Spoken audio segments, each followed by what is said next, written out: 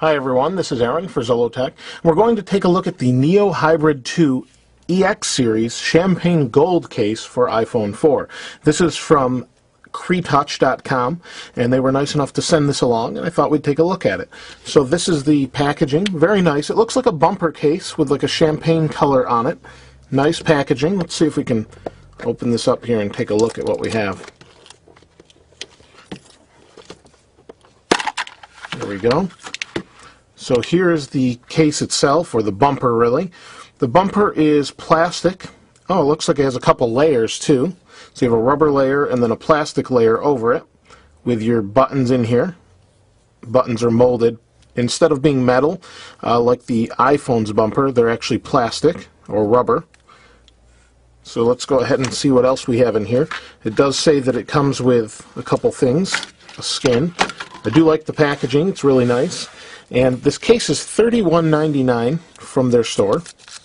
So these are Steinheil Ultra Series skins. So I guess they're thicker, hard-coated for scratches. So basically screen protectors. Front and back, it looks like. So there's the back. Let's see what this is. This is a serial number. And we have a microfiber cloth. So it comes with all of this stuff. Let me go ahead and get my iPhone here. I'm going to take these old skins off and put the new skin on. I have the screen protector on front and back. Didn't do a particularly great job, but this is really about the, the case itself. So I don't know the best way to put this on. This seems like it's it's pretty tight. Let's try and put the, I guess maybe this rubber piece around first. Go from there, I guess, and we'll see how it fits.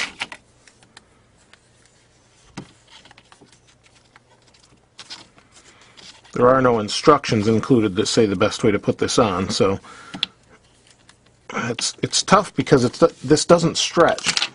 The bumper skin from Apple or the bumper from Apple uh, actually has some give to it, and this one does not, so it's a little bit different. I'm sure it's going to hold it securely, so let me try it this way. Now you would think this would be pretty straightforward given that it, it's just a normal case We've done lots of these type of reviews before.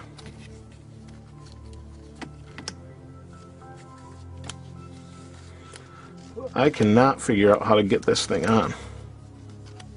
And I don't want to scratch my phone too much, or too much at all.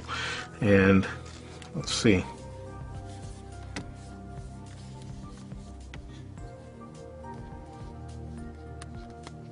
There we go kind of clips down in.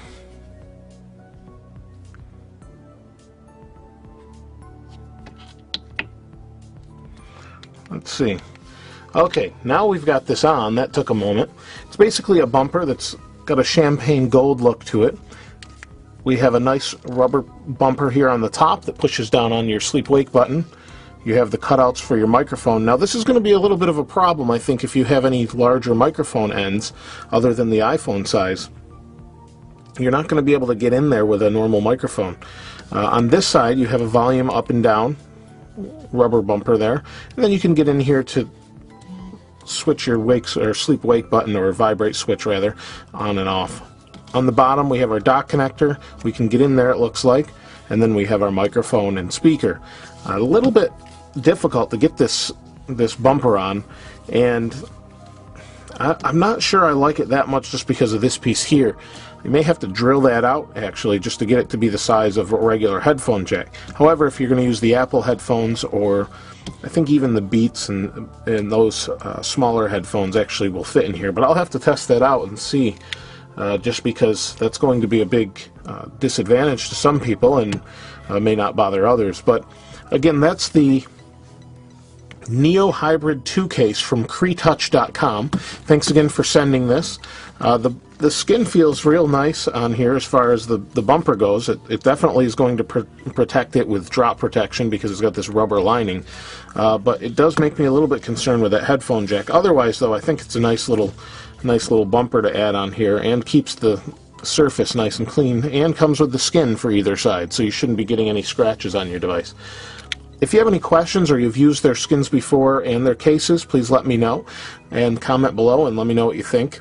This is Aaron. Thanks for watching. We'll see you next time.